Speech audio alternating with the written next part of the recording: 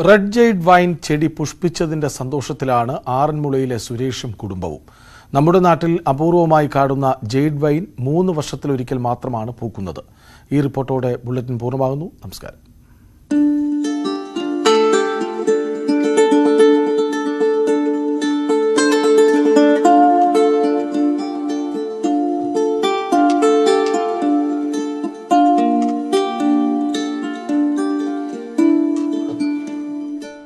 പൂക്കളുടെ സൗന്ദര്യ റാണി എന്നാണ് റെഡ് ജേഡ് വൈൻ പൂക്കളെ വിശേഷിപ്പിക്കുന്നത്.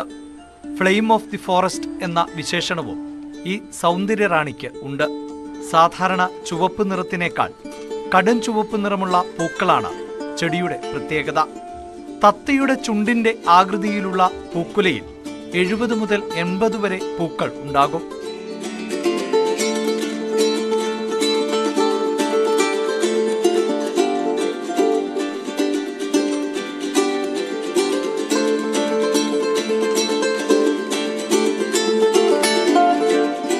അപൂർവ സ്ഥലങ്ങളിൽ മാത്രം വളരുന്ന റെഡ് ജേഡ് വൈന്റെ ജന്മസ്ഥലം ഫിലിപ്പൈൻസ് ആണ്.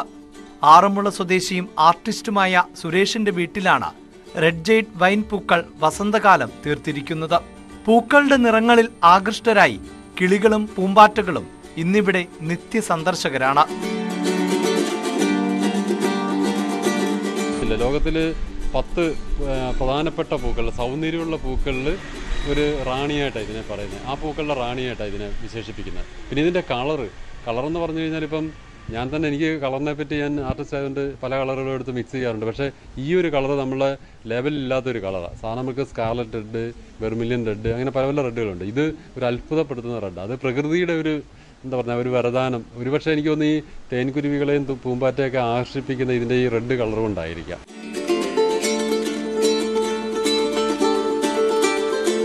മൂന്ന് വർഷത്തിലൊരിക്കൽ മാത്രം പൂക്കുന്ന റെഡ് ജെയ്ഡ് വൈൻ ഒന്നര വർഷത്തിനുള്ളിൽ കേരളത്തിലെ കാലാവസ്ഥയിൽ പുഷ്പിച്ചതിലുള്ള സന്തോഷത്തിലാണ് കുടുംബം. സന്തോഷം. ഇതിനേക്കായി സന്തോഷം വേറെ ഒന്നുമില്ല. നമ്മൾ വെച്ച ഒരു ചെടിക്ക് പൂ വരുമ്പം അതൊരു വേറെ ഫീലിംഗ് ആണ്. അത് ഈ വെക്കുന്ന ആൾക്കാർക്കേ മനസ്സിലാകത്തുള്ളൂ. നമ്മൾ വാങ്ങിച്ച് ഒരു ചെടി വെക്കുന്ന പോലെ അല്ല നമ്മളൊരു തൈ കൊണ്ടുവന്ന് കുഴിച്ച് വെച്ച് അതൊരു പൂ ഉണ്ടാകുമ്പോൾ ഉണ്ടാകുന്ന ഒരു ഫീലിംഗ് അത് വേറെ ഡിഫറെന്റ് ഫീലിംഗ് ആണ്. പ്ലാന്റ്സ് ചെടികൾ ഇഷ്ടപ്പെടുന്ന ആൾക്കാർക്കൊക്കെ അത് മനസ്സിലാവും. വെള്ളവും ജൈവവളവുമാണ് ചെടിയുടെ വളർച്ചയ്ക്കായി പ്രധാനമായും ഉപയോഗിക്കുന്നത്. മികച്ച ശ്രദ്ധയും പരിപാലനവും റെഡ് ജെയ്ഡ് വൈൻ ചെടിക്ക് ആവശ്യമാണ്. ഗോൾഡൻ കാസ്കറ്റ് മണിമുല്ല തുടങ്ങിയ ചെടികളും ഇവിടെയുണ്ട്.